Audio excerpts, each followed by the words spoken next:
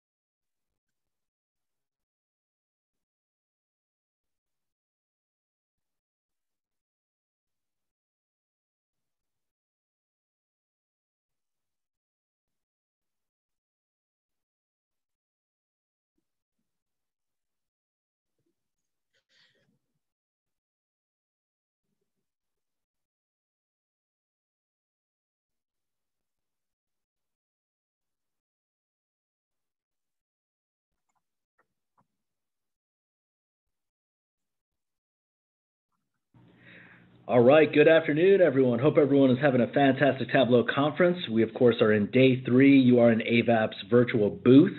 We're so appreciative of your time here today. My name is Nehal Vyas. I'm a director of analytics consulting and leader of our Tableau solution group here at Avaap. We're so appreciative of the opportunity to present to you all today, and certainly appreciative of your attendance and engagement throughout this session as we discuss how using Tableau's analytics capabilities can help address elements of student retention and success. Before we get into our topic, I'd like to provide just a quick overview of Avaap and share a little bit about ourselves. Avaap is a cross platform, industry specialized global IT advisory and management consulting firm. Our span of consulting and technology resources enable us to build for the future faster and better than before, combining a massive breadth of experienced consultants across several consulting practice areas with the ability to support clients across multiple sectors and industries. Our analytics practice is within Avaap's Advisory Services business unit, which combined with other market-leading advisory practice groups, enables Avaap's consulting resources to support our clients through various offerings ranging from business analysis and process design, enterprise solution strategy, organizational change management, program and project management, and testing and deployment project activities. These consulting offerings provide our clients with the assurance that Avaap brings market-leading technical and functional consulting resources to every engagement to support our clients' goals. Our analytics offerings span the entire data value chain from organizational data strategy, where we help clients develop a comprehensive roadmap to their analytics and technology investments, rapid ROI, where the focus is on driving adoption and utilization of an analytics capability across the organization's footprint, and continuous value to focus on sustained and scalable growth. These three pillars are complemented through our ability to execute engagements from robust and transformative solution delivery supporting enterprise data initiatives, rapid Tableau dashboarding quick starts, Tableau technical health checks with a focus on the infrastructure, setup, and configuration of the Tableau environment, and we even serve as a managed services provider to some of our clients to fully host their Tableau capability, accompanied with full service operational SLAs and hands-on maintenance and administration. Avaap, of course, is a sponsor again for this year's TC, and we are so very much looking forward to engaging with you all through our virtual booth. So come check us out and let us learn about your data journey and how we may be able to help you. With that said, it's my distinct pleasure to welcome our presenter for today's session, Armand Salimnejad, who's a senior consultant in Avaap's analytics practice. Armand, welcome and thanks so much for the time today. Hope you're doing well. Doing well now. Awesome. I know we've got a fantastic use case today, one that is very important, especially in these times. We've got a lot of higher ed clients, those that are always very keenly looking at the student perspective, student success, how to build retention, and all of those great strategies that come within this use case. With that said, Armand, I'd love to turn it over to you to go through a quick overview of the use case and then dig into a demo. Thanks so much. Sounds good. Um, hi, everyone. As Neil said, I'm Armand. Um, I'll be walking you guys through a couple things here today. Um, and yeah, we're going to be talking about student retention. Um, it's kind of one of the most, um, you know, one of the most critical and, and challenging uh, problems that a college faces to keep their student retention at a very healthy rate. Um, So, uh, hey, Nehal, could you go ahead and let me share the screen here? Uh, looks like I'm, I'm not able to do that right now. Okay, thanks, cool. So, um, before I get into the actual demonstration here, I just want to talk a bit about the subject and kind of, you know, lead us into it. So obviously, I mean, student retention is definitely on the horizon for every college, right? It's it's it's one of the most critical things because at the end of the day, the student is the heart of an entire university's, uh, you know, existence, their strategy, their their you know their their stories of success and failure, um, and keeping students along the ride with them through that journey of, of academia is hugely important.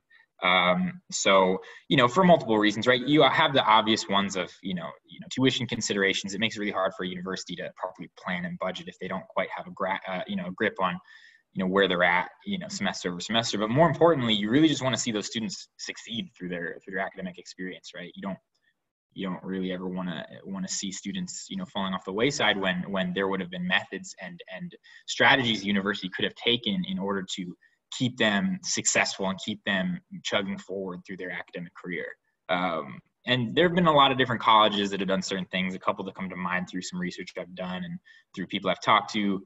Um, recently florida state is one that comes to mind and they they mostly took an approach of interpersonal improvement you know heavily investing in things like student advisors and programs to really engage students. And that kind of got them a really nice boost over the last decade or so of about a 20, 22% uh, retention increase year over year, especially in that uh, third semester period when a student's going from their freshman to sophomore year. Um, which is definitely a great strategy. Um, but then you've got schools like Georgia State that did a kind of completely opposite strategy to a very similar effect, where they took a data-based approach, where you know they tracked on a daily basis upwards of 800 daily risk factors um, and and had a kind of an army of analysts really going after getting to the bottom of you know the nature of a student's you know path through the university uh, through the lens of data. And and through that then trying to get to the bottom of how they can better improve a student's ability to say uh, to stay along with the university and to really grow and and, and thrive as a student. Um, and that's kind of the approach that we at Avaap are, are much closely uh, aligned with as a, a, very data literate and a you know data forward firm. We we like to use a lot of different tools and technologies to to help uh, you know our clients engage with their data in, in new and creative ways. So for my demo today, I'm gonna I'm gonna kind of walk all of you guys through a little bit of uh, Tableau, a little bit of Python. Um, you know, I'm gonna use some some mock some fake data to to tell some kind of you know real challenges is is how I say it.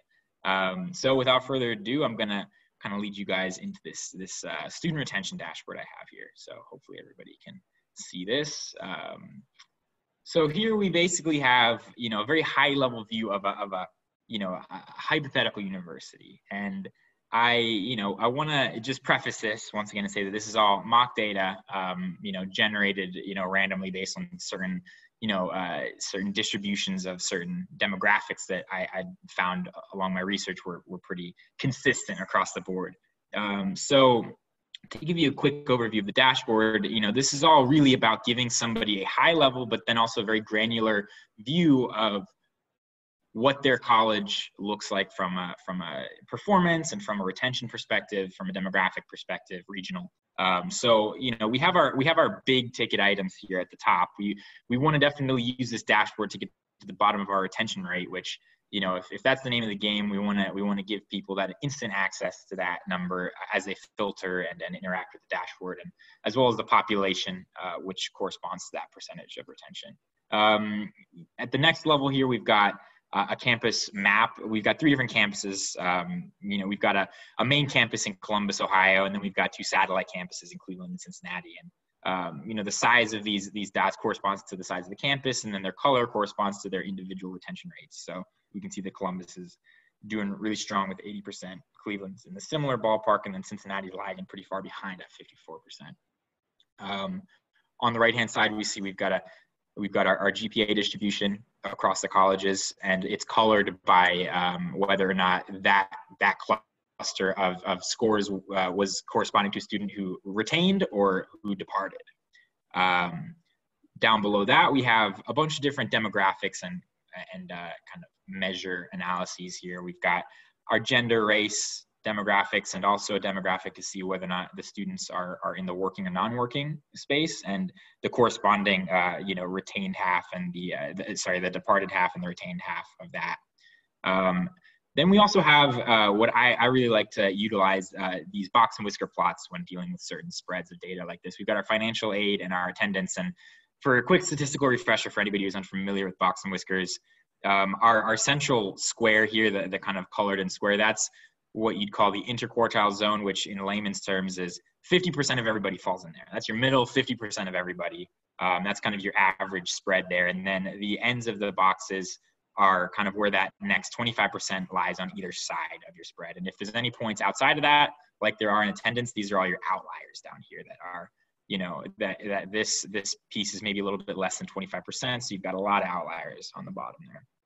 Um, so this is a nice high level dashboard, right? But you know, we want to chop it up a bit. So this is where a lot of our filters come in and we want to we want to give the user a quick ability to just kind of take a look at their data and you know apply filters and, and remove filters so you know right off the bat if i'm if i'm a quick user jumping in here i i see you know if i'm looking for issues with retention i see that cincinnati stands out as a campus that you know is having some issues right now right they're well behind our other campuses uh, from a retention perspective so you know, I, if I want to jump to the Cincinnati campus, I can quickly jump there and then kind of filter my dashboard uh, from there on. So, you know, we see if we go back between the Cincinnati campus and the main campuses, there's not a huge drop off, for example, in GPA. Maybe you have a little bit in the lower spectrum, but it's not this huge shift downwards, not to the point that you'd expect maybe a, you know, 25% decrease in, in retention. So that kind of begs the question, you know, what else is going on here? Uh, but if I, you know, I would take a closer look at this working demographic in the bottom right hand corner. When we go to, you know, across the board, we've got, you know, maybe 20% of all students uh, working uh, or versus non-working across all campuses. But, you know, if we look at Cincinnati, we, we can quickly see, okay, that, that jumps up a lot, right? That jumps up a lot there. And we also see that we've got a pretty big demographic of the working sub-demographic that is departing the school after their second semester. So maybe at this point, I want to take a quick look at you know what it looks like in the in the working demographic. And so once i navigate to working i immediately can tell that we're dealing with an issue in the working demographic. Um, and you know it's not an insignificant issue. It's it's it's it's definitely playing out across the board. So for starters uh, the first thing also i want to draw your guys attention to is we don't see a huge decline in GPA here either. We see maybe some on the lower end, but for the most part, we've got a similar spread. So, you know, why then is our retention so much lower? It's it's going down from, you know, 76% to 60%. Um, and I want to draw your attention to the financial aid and attendance here, right? So when we are looking, uh, you know, in a, in the the whole demographic, we see we see financial aid, you know, it's, it's hovering nicely around maybe an average of 13K um, paid out of the first year. And attendance is sitting pretty high with even the lowest, you know, the, the lowest average person, even on the low end, is usually around that 40% threshold, with most students well above 80%. Um, but then when we look at the working demographic, first of all, we see there's a huge drop in average financial aid, right? It's a very substantial drop, all the way down to maybe that $8,000 uh, average. And we also see the bottom really falls out on that attendance if you see if you see this this bottom part of the threshold you know maybe our average is still around 76 but the bottom half of our of our of our students is you know they're they're sitting around that that 37% attendance rate which i mean that's you know definitely makes sense. You know i don't know how many of you all worked when you were in college but of all the people that i knew who worked and when i was working it was definitely a lot harder to make the classes that I that I had to juggle at that same time, which you know that's a lot of stress on an individual. And these things kind of once you can see them pop off the page, like like a quick dashboard can allow you to jump in and do, they definitely give you some really nice food for thought. And um, with that, I want to then you know kind of draw you guys that next level of analysis here, which is you know, okay, we, we see the broad pictures, but maybe now we want to dive into some of the, the user stories, right? We want to understand, okay, you know what really is going on here among the among the, the demographic that's departed. So if we navigate there and then we hop over to our student level summary here which i have as you know kind of a granular view of our data um, this is all the individuals. I have a student id associated with each of these individuals. Um, and this is you know for if you want to take that next level dive quickly from from where you just were um, you know we've we've you know carried over our filter here to only departed students. And you know, maybe I just want to take a look down here and just see you know some some student stories and maybe give myself some food for thought for next levels of analysis and next levels of dashboarding right? Um, you know we can see certain things like um, let's take this individual for example right? Um, 100% attendance you know a, a, stellar attendance and pretty high um, you know financial aid relative to the average getting significant financial aid but the gpa isn't really there um, not the way that you'd maybe want. And then you know, heavy in the working and commuting demographics. So maybe this raises a lot of questions in terms of, you know, um, is this person juggling more than just his own life, right? Does he have family that's relying on him? Um, does he have family that needs him financially or, or personally? Um, you know, how far is he commuting, right? Maybe we need to get to the bottom of that. You know, if is he working one job or two jobs, right? Is he getting any help outside of school? There, there are a couple things that this particular person much like any of these other individuals would you know once we can kind of dive into the personal story we can maybe give ourselves that second round of you know creative analysis and and kind of go back into the drawing board which tableau really allows us to do cleanly. Um, so with that being said in that same vein uh, one thing i want to draw your guys attention to um, and kind of you know hop off this tableau piece for a moment is if we want to take that next step we could maybe do certain things in the realm of advanced analytics through Python. Um, and I've, I've spun up a script here, which is, and I'm not going to dive too much into the code itself, um, but we have a couple methods through which we can um, analyze this. And if we just go on our basic statistical like averages, we, we don't really give ourselves the means to capture all the story. But here I have uh, two different machine learning models I'm running on the, the, the mock data I've developed. And once again, I want to asterisk that this is all mock data, so it's not really, you know, me finding some gigantic pattern in the data. But you could also say that, you know, this this picks out the patterns I placed there pretty nicely. So, um, you know, if you applied this to uh, a data set that you are not familiar with, um, it will, you know, potentially go a lot further than, you know, a, a novice statistician would be able to without the tools they have available to them. So go ahead and run this. It shouldn't take too long to run. And we see pretty much immediately that you know, uh, the two models I'm running, which one is random forest and one is logistic regression, they run very quickly. It's not a lot of code for somebody if they were going to really dive in there. And we see we're immediately improving on some of our accuracies, right? Uh, in terms of the overall predictions of what the outcome would be for a student to say, okay, here's information about a student. Are they going to be retained or are they going to depart? That's what this model is trying to say. And we see we have overall accuracy immediately jump from a 64% to upwards of 78% for both of the machine learning models. And then when we go into the specific um, predictions for the very particular demographics, we're seeing similar increases as well. Um, so this is a good example of where once you go down the path of Tableau to give yourself some food for thought and some some deep, um, you know, grappling with the questions and, and formation of the questions you want to ask, then you can turn around and use some other tools as well to take that next step into your analysis. Um, uh, quickly before I, I, wrap this up, uh, you know, I just want to be fully transparent about some of the methods I use to develop this data. Um, this is just uh, once again developed with Python. Used a lot of the research to determine what demographics were, and then tried to make them mutually exclusive of each other while while generating my my data outputs. And each, you know, this will run and it'll create new data files of brand new students each time. So um, with that, hopefully this was, uh, you know, a, a, fairly insightful and, um, you know, and, and, and food for thought presentation that, you know, maybe you all can take something from and, uh, you know, let me know if you have any questions or if you guys have any comments. And uh, yeah, thanks for thanks for participating. But uh, with that, I'll open it up for questions. Armand, thank you so much. Again, those that are on the line here, please use the chat box to put in any questions that you may have. Armand, my, my head is kind of spinning with some ideas on this, right? Because as we talk about the ability of student retention and student success, I think it's very, you know, we, we are all very sensitive, I think, as the data is providing us those insights that every student has her or his own story, right? And it's, it's, it behooves a higher education institution to really understand you know those individual trees in the forest by trees i mean students but really understand you know not necessarily catering at an individual perspective but even understanding that hey we've got a demographic here that is working that may have priorities that quite frankly, for them could be a little bit more weighty than the ability to actively attend class. It doesn't mean that they don't love attending class, but they've got other priorities for it. How do we accommodate for that, right? And I'm thinking even down the line, you know, if I were a higher education institution, we talk about elements of scheduling, we talk about elements of facilities use, we talk about elements of providing online classes, right? Because now when we're looking at this, there's an imperative now to really focus in on those that are working commuters, those that really may not have the logistical capability to get to class in person every day. What can we do to continue to nurture and cultivate their thirst for knowledge by providing them an online platform to take those same classes? I think it's a phenomenal, phenomenal use case. I also love the complement that you have with Python and Tableau.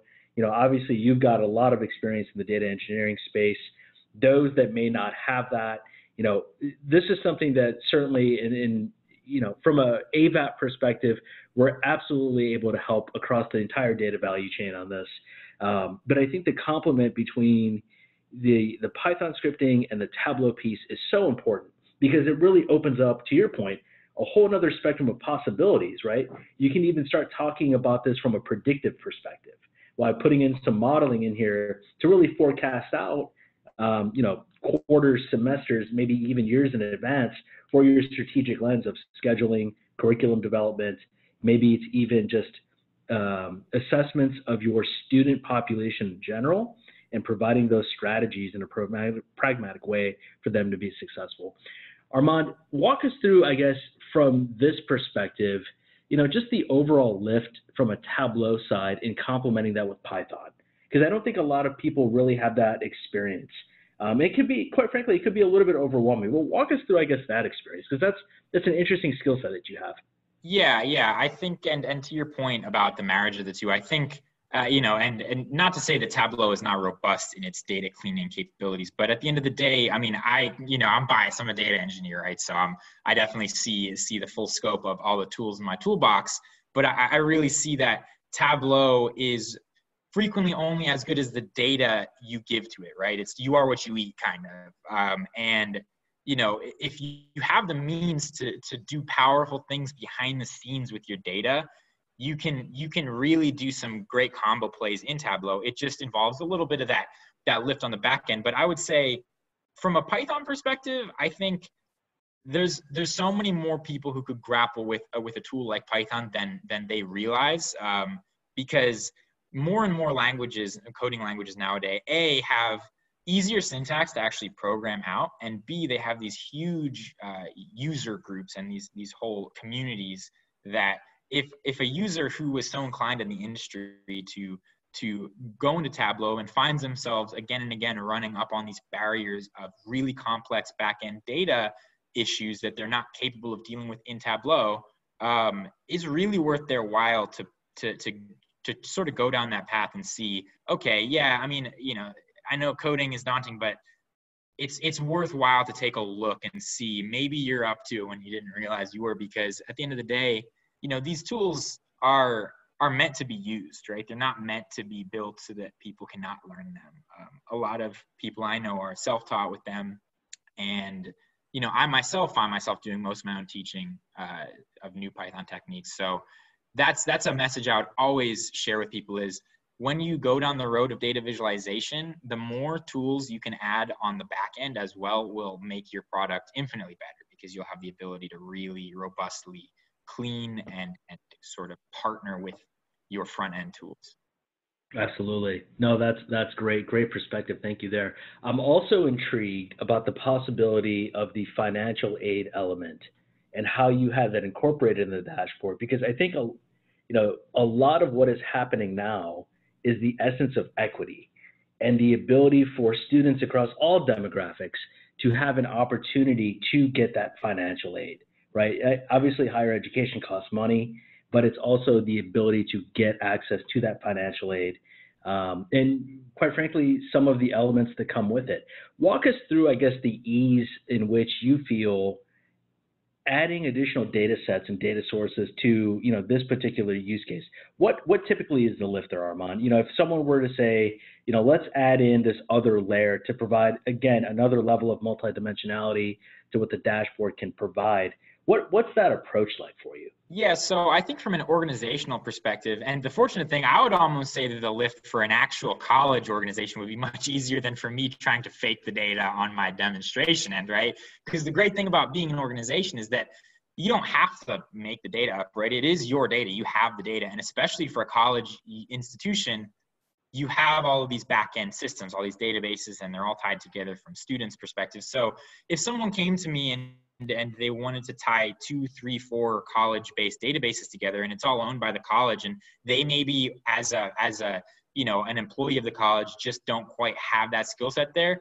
That's not a particularly daunting task, really. It's it's a pretty trivial data engineering challenge to tie up multiple data sets together. And I mean, it gets more and more complicated depending on the specific criteria and maybe some of the restrictions of either budget or or, or, or infrastructure. But I mean, once you have the data available to you, at that point, it's just a matter of you know when and not if we'll be able to to tie it together. Um, because that's really what data is all about is is bringing in more and more data into you know from from a similar system into you know a bigger picture effort. And and that's frequently what we're doing whether it's for you know educational organizations or you know the state of ohio or you know any number of you know of, of organizations. That's that to me is kind of uh, it's almost a, a, prerequisite to anything, and it's not a daunting one at that.